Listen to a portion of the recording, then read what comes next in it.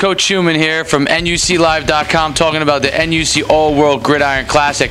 Talking about defensive back Jacob Garza, a fierce hitter, tremendous in filling the lanes from his safety position, great ball skills. At about 5'9, 170 pounds, he plays a lot bigger than what his size is.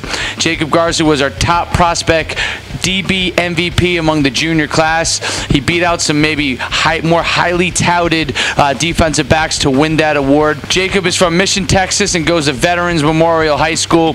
He's one of the top defensive backs in the country, a great sleeper prospect that we've seen live, dominated all three levels. His NUC, uh, regular NUC camp in San Antonio, his Ultimate 100 camp in the Southwest, and then it once again at the top prospect camp in Oklahoma.